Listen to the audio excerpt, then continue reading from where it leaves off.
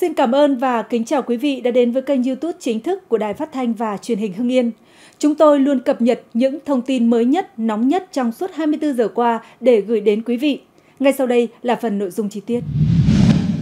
Trong khuôn khổ chuyến thăm chính thức của Chủ tịch Quốc hội Vương Đình Huệ đến Trung Quốc từ ngày 7 đến ngày 12 tháng 4, các tờ báo lớn của Trung Quốc như Tân Hoa Xã, Nhân dân Nhật Báo, Thời báo Hoàn Cầu, Đài truyền hình Trung ương Trung Quốc, CCTV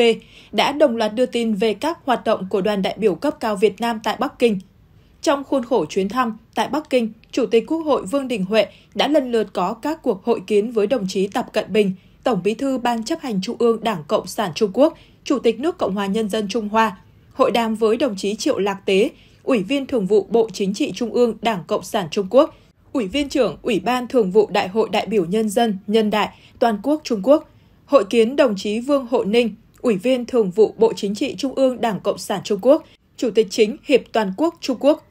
Theo Tân Hoa Xã, tại các cuộc hội kiến và hội đàm, các nhà lãnh đạo Trung Quốc đều nhắc đến chuyến thăm của Tổng Bí thư, Chủ tịch nước Trung Quốc Tập Cận Bình với Việt Nam tháng 12 năm 2023, khi lãnh đạo cao nhất hai đảng, hai nước nhất trí xây dựng cộng đồng chia sẻ tương lai có ý nghĩa chiến lược, mở ra giai đoạn hợp tác mới cho quan hệ hai nước. Các phát biểu đều khẳng định Trung Quốc sẵn sàng cùng Việt Nam thực hiện hiệu quả nhận thức chung cấp cao quan trọng mà Tổng Bí thư Ban chấp hành Trung ương Đảng Cộng sản Trung Quốc Tập Cận Bình và Tổng Bí thư Ban chấp hành Trung ương Đảng Cộng sản Việt Nam Nguyễn Phú Trọng đã đạt được, thúc đẩy giao lưu hợp tác trên tất cả các kênh, các cấp và các lĩnh vực. Trung Quốc sẵn sàng trao đổi kinh nghiệm với Việt Nam để tăng cường xây dựng nền dân chủ pháp quyền, kiên định đi theo con đường dân chủ xã hội chủ nghĩa do người dân hai nước lựa chọn.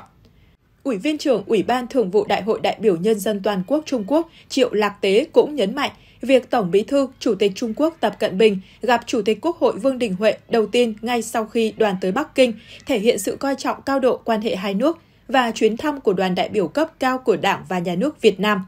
Trong khi đó, Chủ tịch Chính hiệp Toàn quốc Trung Quốc Vương Hộ Ninh cũng nhấn mạnh Trung Quốc sẵn sàng cùng Việt Nam nỗ lực hết sức thực hiện nhận thức chung của lãnh đạo cấp cao hai đảng – thúc đẩy xây dựng cộng đồng chia sẻ tương lai Trung Việt.